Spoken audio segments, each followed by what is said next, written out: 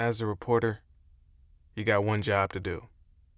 You get a notepad, you know, whatever business organization you work for tells you what to say.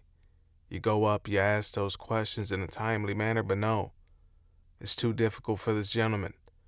Nate Diaz has to check a reporter for taking too long to ask the final question. Awesome. Thank you.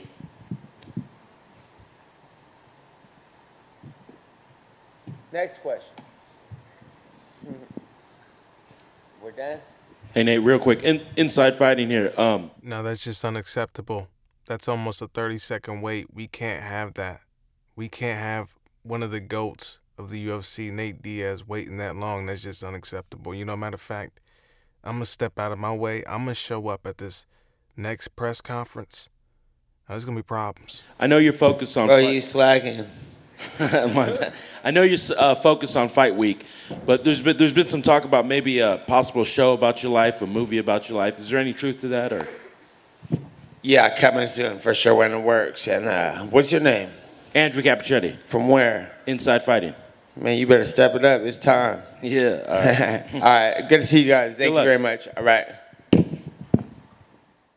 And on some real, Nate Diaz wasn't mad at all. If anything, he did this guy a favor. Him giving him a shout out like that, got his name out there. Otherwise, people wouldn't even know who he was. So at the end of the day, the fact that that guy wasn't on his job actually gave him a promotion. How fucked up is that?